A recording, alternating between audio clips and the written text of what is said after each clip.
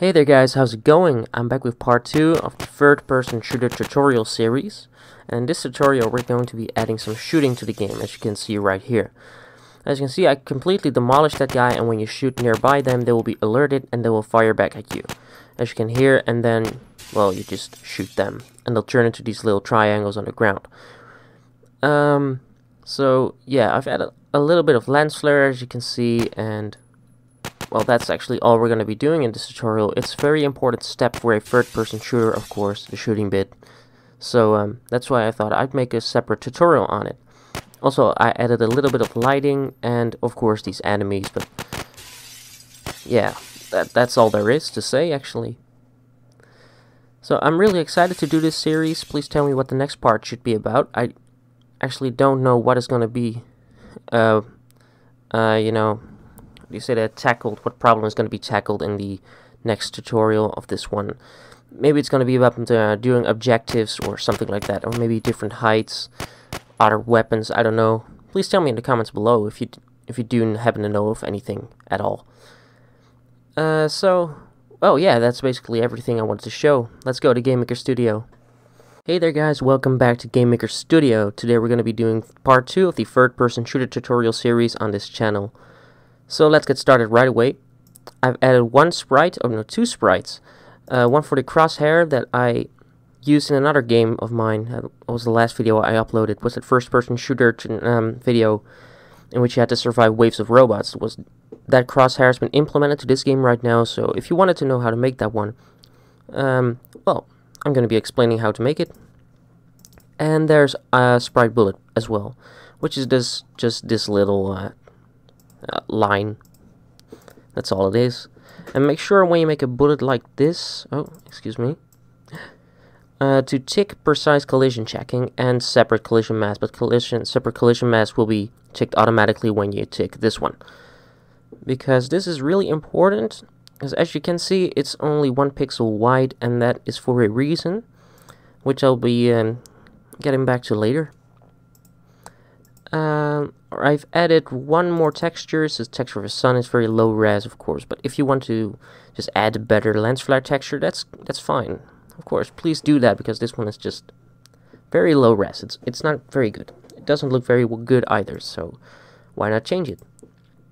I didn't add any scripts um, other than these scripts. Of course, these have been here ever since the first uh, tutorial that I did on this one. So no need to check this one again. And then the objects, well, I didn't really add that many things to the game. I've added the enemy, the triangle, temporary lighting, which isn't important at all. It just makes the game look a little better. Um, object bullet is new, object bullet enemy is new, and object sun is new. Well, it's actually a, a lot of new objects now that I look at it. So let's start with the changes that I made with object player. Uh, you may remember in the previous tutorial of this one you can only shoot and it would make a gunshot noise, a little gunfire sound, but that's all it did. It didn't like um, shoot a bullet or something. It didn't fire a bullet at all. It um oh it didn't do anything but make a sound. Well now it creates this this object, object bullet. And object bullet is right here. And I'll be explaining it right now. It just it's not in chronological order, I know, but it just makes sense to do this one after this one, after uh, the change that I made here. I'm sorry, it's still very early, as you can see, for me anyway. Um, I set the speed to 250, and the initial speed, I called it in speed for some reason, is equal to speed. And why did I do that? That's because I use delta time for now. As you may know from my previous videos, my computer isn't doing very well, so I might experience some lag somewhere um, every now and then. So that's why I'm using delta time, and you need a variable like this. Uh, Z is 100 by default, pitch is object player's pitch, direction is object player's facing, and image angle is direction. Well, image X scale is equals initial speed, and that's when the one pixel wide sprite actually comes in. This uh, is set to this one, otherwise you will have some messed up collisions. Um, let's say it like this when an object has this speed and the sprite is like smaller than uh, this value right here, it will just go straight through it. You can't hit anything. Well, you can hit massive objects, but you can't hit small objects like uh, enemies or something. So that's why this is very necessary, and this is very necessary as well. Otherwise, this won't work anyway. So that's why I did that. Let's go to the bullets. You've seen this one in almost all my tutorials now. The Z plus 10 deck turret pitch times the speed. And here's the delta X thing. I've uh, found this from a tutorial on YouTube. I have a link in the description to it if you want to check it out, how this actually works. Um, I've set 30 divided by a million times the delta time. Uh, so if your game is running at 30 FPS by default, and you'll, for example, want it to, uh, you know, extend it to 60 FPS or something like that, the game will not be sped up or anything. It will just go at the same speed, just a little smoother, which is very, very handy. Also, when you have, it also works the opposite way. If you have a very crap PC and you can only run the game at like 5 or 10 FPS, which is um, not very good, as the game doesn't look very good, the game will not be slowed down any or anything. It will just go um, frame skipping. That's what it was called. Oh man, really, this only happens when I record tutorials. I don't even know what it says. It just dismiss it right away. Oh, what the hell? I hope you didn't hear that. That was embarrassing. So when it touches the enemies, this one, and the Z is smaller than or less than 207, then the enemy will explode into little triangles. And it will also destroy itself. So let's go to the enemies right away and see what changes I've made to this one. This is basically the... Um, oh, wait. No, it isn't. I'm sorry. I, I must have been confused by something. Um, the model is file enemy, file enemy reflection. I've given it a little reflection just to, for the graphics sake. You can delete it, of course. I mean, it's not really necessary or anything. I still have the ambient occlusion texture right here. You don't need it at all. I'm not using ambient occlusion for this particular object. But I am using things like glass, audio create stream, sound of glass, aiming is 360, random 360 by default, and all this other cool stuff that isn't really that important. Shoot is set to 30 by default, ammo is 4 by default, and reload is 60 by default. You can change all these things to whatever you like. You can set ammo to a million, then the, of course, the enemy will have uh, pretty much unlimited ammo. Then you shoot, set shoot to 30. I mean, that's the delay between shots. That shut up. That's all it is. And reload is just a reload time.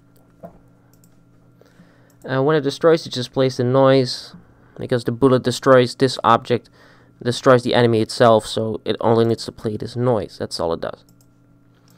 In the step event, the enemy will be aiming at you, and the, there's the delta X thing again. So if the if he saw you, this little variable goes to your own position, to the player's position, I mean, and he will aim at you. And when he aims at you, he'll be able to fire at you. So when shoot shoot goes uh, down by one every so often, every step, and then when ammo is smaller than zero, here's the reloading thing, by the way but this actually connects to this. If shoot is less than zero and the enemy has ammo, he can actually fire at you. And it will create the object bullet enemy, which is this object, which is basically the player's object, uh, player's uh, bullet object, just a little different. I tweaked it a little bit. It's now following the enemy's position, of course. It would have been strange if the enemy bullets would actually follow the player's current facing position, so that's not what happens. And the other thing that's changed is when it touches the player instead of the enemy, the, and the player will take a little hit. The screen will go right for a little bit, uh, white, I mean red, for a little bit, and your health will go down by 10. Well, that's all it does, it's only little changes to it. When it hits the wall, it just destroys and makes a little ricochet sound. Right here. So that's that. Yeah, you may notice that I'm actually racing through this little tutorial. That's because I've had a poll up and people thought that my tutorials were a little slow. So that's why I tried a little different tactic. I may sound a little nervous. I don't know why that is. Oh, maybe I do. In a week I'll hear if I pass my exam. So you may know how I feel. Um, as you can see, I activated lighting here and I deactivated here again because I don't want lighting to apply to all objects in the game. I want the lighting to apply to very specific objects like the enemy and the player. There, the and the little triangles, of course. Those are the only three objects that use the lighting in GameMaker Studio. Uh, let's see, what else we got? Well, we got temporary lighting right here. These are just four lights, four directional lights. These are for the backlighting. These make it dark blue, and these make it white. Frontal lighting. That comes from the sun, of course. And here's the little sun object. It's just this. I don't know what that was. It's just this little object. It's just a very big wall that's very distant to the player as well. That just um, applies the sun texture that we saw earlier. Uh, step event um, disappears, clamp to 0 and 1. Didn't show that, I think. Oh no, not this one. This one.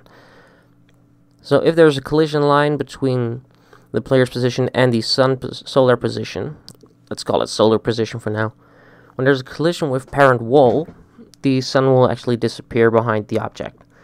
And here comes the dis variable again.